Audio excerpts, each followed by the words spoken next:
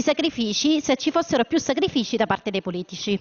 La gente vive difficoltà che conosciamo, c'è la grande riforma delle pensioni, ce ne saranno altre, perché si va a liberalizzare, quindi si va a togliere privilegi a determinate categorie.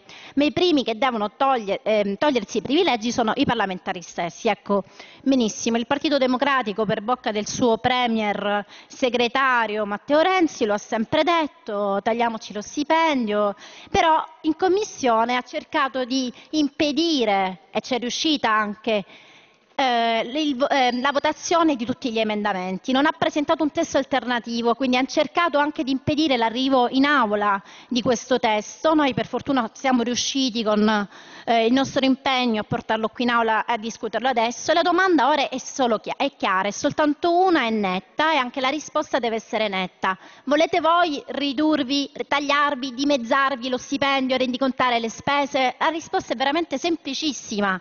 Aspettiamo la vostra coerenza senza all'angolo, altrimenti non avrete neanche più la possibilità di mettere la faccia da nessun'altra parte. Grazie. Grazie a lei. Colleghi, ricordo a tutti che vi dovete rivolgere alla Presidenza se è possibile. Onorevole Alberti, prego. Grazie Presidente. Eh, dall'intervento del collega del Partito Democratico abbiamo capito, anzi abbiamo l'ennesima certezza, l'ennesima conferma.